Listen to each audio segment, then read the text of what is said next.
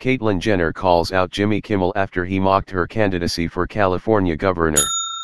Jenner accused Kimmel of transphobia and racism over past comments he's made.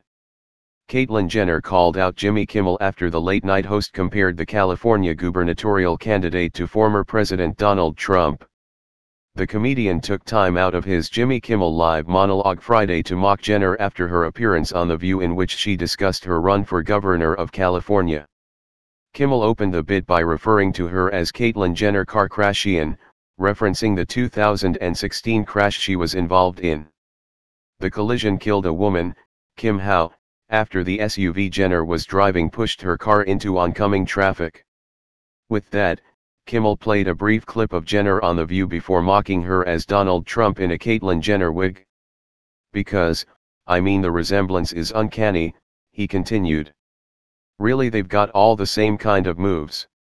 Kimmel concluded, the interview was a lot of nonsense, she's just trying to get attention. Caitlyn Jenner has a better chance of being the next Batman than the governor of California. She knows little to nothing about anything really. Following the broadcast, the 71-year-old former Olympian took to Twitter to call out Kimmel and accuse him of transphobia and racism. Last night at Jimmy Kimmel called me Donald Trump with a wig, Jenner wrote. He obviously believes that trans women are simply men with wigs on. Where is the outrage from the left or LGBT community? Being woke must be optional if you are a Democrat.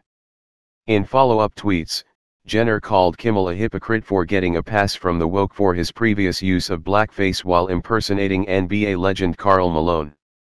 However, Kimmel issued an apology last year after facing backlash over his impression of Malone.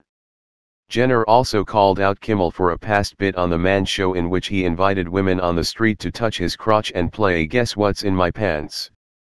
Also at Jimmy Kimmel got a pass from the woke while he asked women to fondle him in public.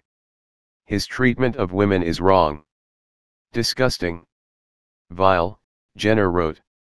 She concluded her jabs at the late night host by bringing up a 2013 incident in which he caught backlash over a joke about killing Chinese people.